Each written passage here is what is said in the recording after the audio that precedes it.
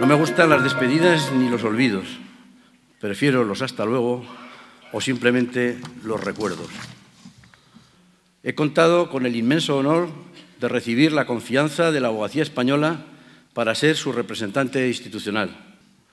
En estos 15 años hemos alcanzado hitos relevantes, como la regulación por fin del acceso a la profesión la eliminación de las tasas judiciales para las personas físicas o la modernización tecnológica de la abogacía.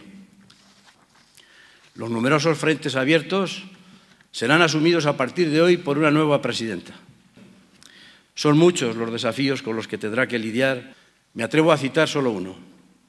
Adiestrar a los jóvenes y los no tan jóvenes para que afronten con lucidez y sentido común esta queridísima profesión que tiene más de sacerdocio que de empresa de servicios. Muchas gracias y hasta siempre.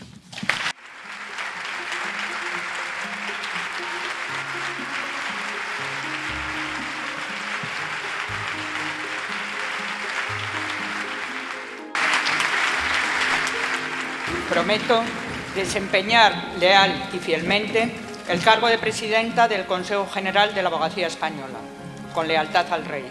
Guardar y hacer guardar la Constitución, el ordenamiento jurídico vigente y las normas deontológicas que nos rigen, y mantener el secreto de las deliberaciones del Consejo.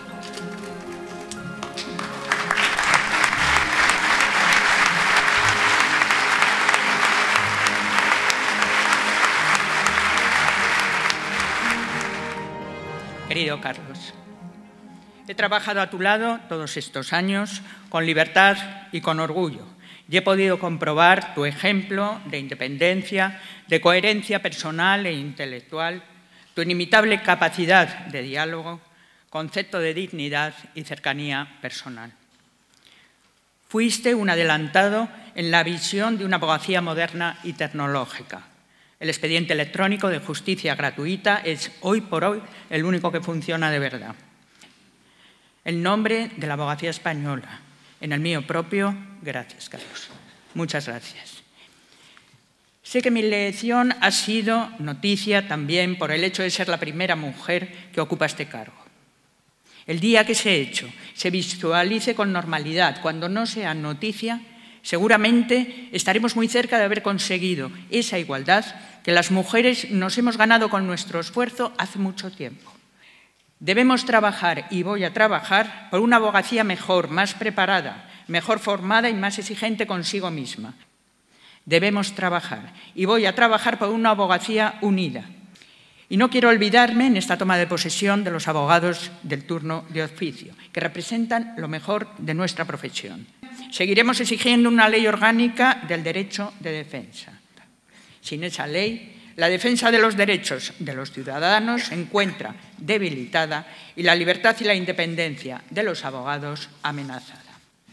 Seguiremos actuando de forma comprometida en la defensa de los derechos humanos y la cooperación internacional. Y nuestra voz se tiene que oír no solo en, lo que nos afecta profesionalmente, sino también en todo lo que concierne a los derechos y libertades de los ciudadanos y al funcionamiento de la justicia. No podemos permitirnos una justicia lenta, lejana a los ciudadanos. No podemos tener una justicia sin los medios suficientes, personales y materiales. La cenicienta, en definitiva, de la Administración pública. Por eso, reclamamos una vez más un pacto de Estado por la justicia. El objetivo es claro y posible. Configurar, mediante el consenso, un modelo de administración de justicia que merezca tal nombre dentro de un verdadero Estado social y democrático de derecho a este compromiso convoca la abogacía a todas las fuerzas políticas, sociales y profesionales. A esto me comprometo también hoy al tomar posesión del cargo de presidenta del Consejo General de la Abogacía Española. Muchas gracias a todos y a todas.